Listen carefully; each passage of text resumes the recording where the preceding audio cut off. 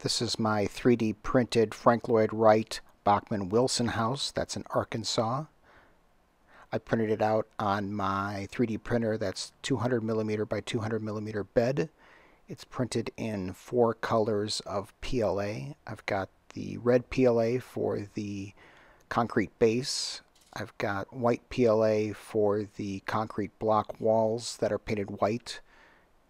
I've got a golden brown color for all the wood parts of the model and I've got gray for the tops of the roof and for the countertops.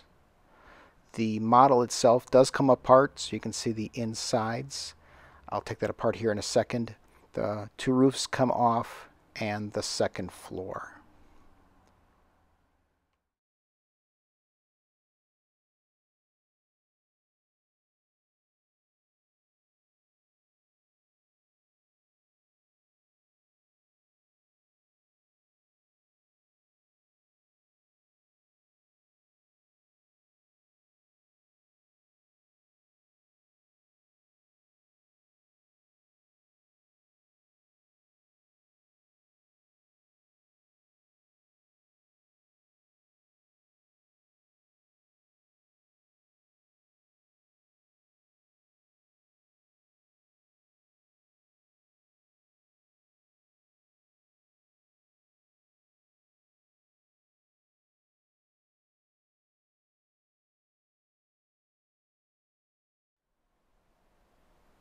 Here's a close-up of the kitchen area rooms. You can see the cabinets in there, including the countertops.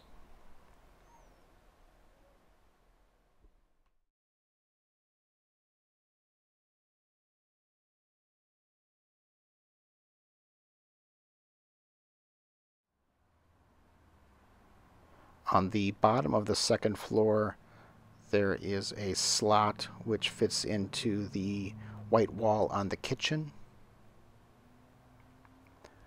The roof by the carport also has a slot that fits onto the white wall also. And the main roof has a slot on one end that fits into the second floor roof.